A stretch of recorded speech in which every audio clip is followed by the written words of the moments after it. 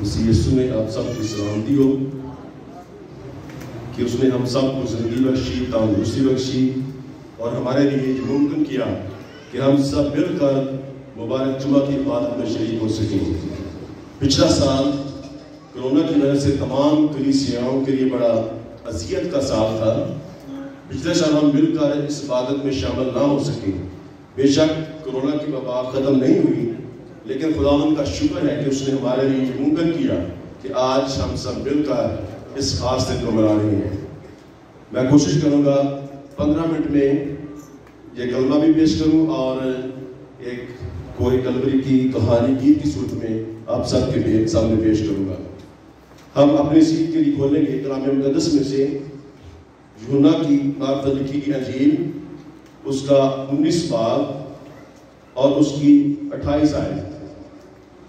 यूना की मार्फत लिखी गई अंजील उसका 19 बाब और उसकी 28 आयत। कलाम मुकदस में यूँ लिखा है, इसके बाद जब यीशु ने जान लिया कि अब सब तमाम, कि अब सब बातें तमाम हुई, ताकि नविश्ता पूरा हो तो कहा कि मैं प्यासा हूँ। मुल्क फलस्तीन की सख्त गर्मी में जब मसीह यस्सु के होठों ने पांचवीं मरतबा चुम्बश खाई तो ये कलमा सादर फरमाया कि मैं प्यासा हूँ। ये चंद अल्फाज अपने अंदर मानी का एक समुंदर छुपाए हुए हैं। इस कलमा को जिसमानी दुख का कलमा कहा जाता है, क्योंकि शदीद गर्मी की, के वक्त प्यास की शिदत इंसानी जिसम के लिए बेहद तकलीफ़ का बायस बनती है। प्यास ना बुझने की तकलीफ़ का अंदाज़ा वो अमीर आदमी ही कर सकता है जो बाप इब्राहिम से पानी के चंद कतरों का सवाल करता है। प्यास की शिद्दत कोई उस हरमी से पूछे जो पानी के चश्मों की तलाश में मारे मारे फिरती है। प्यास की शिद्दत कोई बियाबान में भटकने वाली हाजरा से पूछे जो अपने लगते जिगर के लिए पानी की तलाश में परेशान फिरती है। लेकिन मेरे अजीजों, जरा गौर करें कि यहाँ कौन है जो कह रहा है, मैं प्यासा हूँ।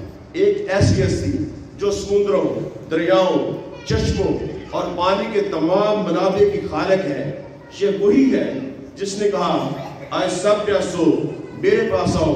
और वो भी आए जिसके पास पैसा ना हो और मुफ़्त में ये कौन है जो कह रहा है कि मैं पैसा हूँ? ये वही है जिसने शामिल औरत से कहा, अगर तो मुझसे मांगती तो मैं तुझे वो पानी देता, जिससे पीकर कभी कोई प्यासा नहीं होता। ये वही है जिसने कहा, जो प्यासा हो वो आए और जो कोई चाहे, आप हयात मुफ़्त रहे। मेरे जो मसीह यसु के अल्फाज में दर्द का एहसास नमाया था। ये कलमा खुदा यसु मसीह ने उस वक्त जब उसे सलीबी अजियत सहते हुए छह घंटे हो चुके थे, तीसरे पहर का वक्त था, तमाम कायनात ने मातमी लिबास पहन रखा था। तारीखी की चादर ने हर चीज़ को अपनी आगोश में लपेट रखा था। सूरज तारीख हो चुका था, हर तरफ़ अंधेरा था। मसीह यस्सु के हाथों और पाँव में कील लगने और सर में कांटे चुभने के बायस खुदावत के मुकदस बदन से बेपना खून बह चुका था। तने लाकर सलीब पर आवेजा था। इंतहाई दुख के आलम में मसीह यस्सु ने सलीब पर से फरमाया, मैं प्यासा हूँ। इस कलमा में खुदावत ने शख्सी ख्वाहिश का इजहार किया। मेरे अजीजों जब किसी शख्स को फांसी दिया जाता है तो उससे पूछकर उसकी आखिरी ख्वाहिश को पूरा किया जाता है, चाहे वो कितनी ही बड़ी क्यों ना हो। लेकिन हमारे निजात ज़िंदा के साथ ऐसा नहीं हुआ। गलसमी बाग से लेकर पिलातूस और हैरदीस की अदालत, हत्या के सलीब देते वक्त भी किसी ने उसकी कोई ख्वाहिश नहीं पूछी। लेकिन आप बेबसी, मजबूरी और जानकारी की हालत में खुदा यसु मसीह ने अपनी इकलौती ख्वाहिश का इजहार किया। और कहा, मैं प्यासा हूँ। लेकिन साबित यहूदियों ने उसे पानी की जगह सिक्का पेश किया। जरा सोचें, ऐसा क्यों हुआ? इसलिए कि पुराने हदनामे की पेशन गोई थी, जो थी, जिसका पूरा होना ज़रूरी था। और मेरी प्यास बुझाने के लिए उन्होंने मुझे सिक्का पिलाया। अजीजों, खुदा यसु मसीह जमीनी ज़िंदगी के दौरान भी प्यासा था।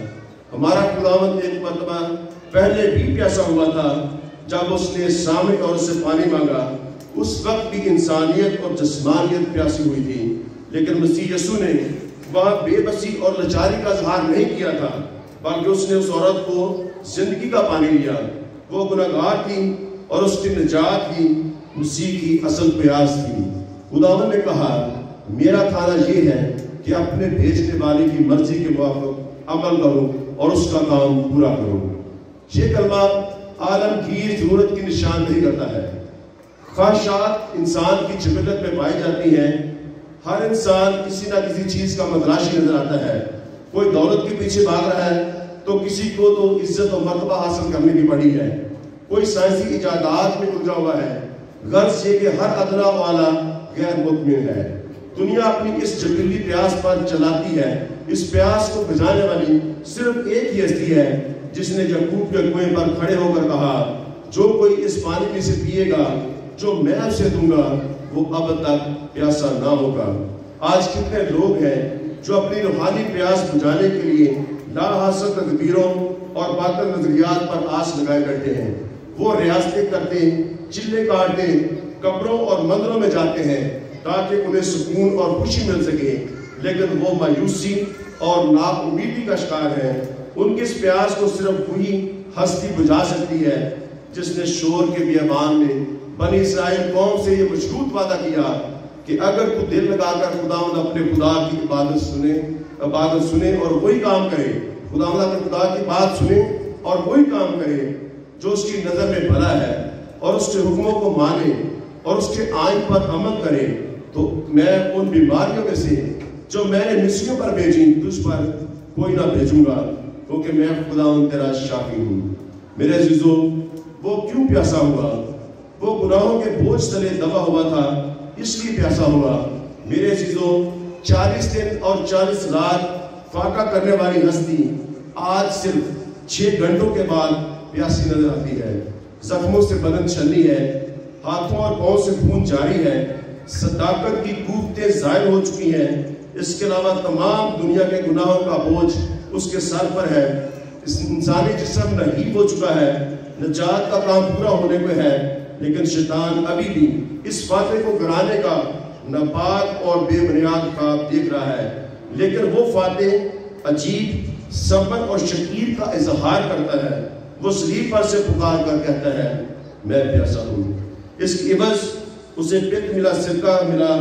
इब्ने खुदा को आदम के बेटों ने पूरी तरह जिबा किया। जानवरों को जिबा करते वक्त पानी पिलाया जाता है, लेकिन हमारे खुदा यसु की बेर मोहब्बत ने अपने खून का आखिरी कदरा बहाया और सिरका मोहब्बत से पीकर इलाही मोहब्बत की तस्दीक कर दी। यानी उसने खुदा की मर्ज़ी और कलाम को पूरा होने दिया। खुदा आज भी प्यासा है। वो हमसे पानी माँगता है। लेकिन हम उसे सिरका पेश करते हैं। खुदावंत ईमानदार बंदों से मोहब्बत देखना चाहता है। वो हमसे खलूस और वफा का पानी माँगता है। लेकिन हम उसे अदावत दगा और बेवफाई का सिरका पेश करते हैं। वो खानदानों खानदानों में दुआ का पानी ढूंढता है। लेकिन उस, लेकिन उसे दिल के बंद दरवाज़ा का पानी दिया जाता है। वो हमसे रूह के फलों का पानी माँगता है। लेकिन हम उसे जिसम के कामों का सिलका पेश करते हैं। वो हमसे खुद इनकारी और हमदर्दी चाहता है, लेकिन हम उसे खुद ही आना और नफरत पेश करते हैं। मेरे अजीजों, हमारी रूहों का, वो हमारी रूहों का प्यासा है। वो चाहता है कि हर शख्स तौबा करे, ईमान लाए और हमेशा की ज़िंदगी हासिल करे। लेकिन अफसोस कि आज लोग उसे अपने गुनाहों के बायस एलानिया जलील करते हैं और उसे बार बार सलील करते हैं। हमारी बदकारी के कांटे आज भी उसे छलनी करते हैं। हमारी बेईमानी का नेजा आज भी उसे घायल कर रहा है। हमारी बगावत की कीलें आज भी उसे जख्मी करती हैं और वह अपनी अजियत का जहार यूँ करता है कि मैं प्यासा हूँ। अगर आज मेरे जीजो मसीह यस्सु की पुकार आपके दिलों को छुट्टी है तो अपने दिलों को सख्त ना करें। उसकी आवाज़ पर कान लगाएँ। अपने गुनाहों से तौबा करें। और उस पर ईमान लाएँ और उसके हुक्मों पर अमल करें, ताकि फिर कभी वो हमसे ये ना कहे कि मैं प्यासा हूँ। आप सबको बड़ी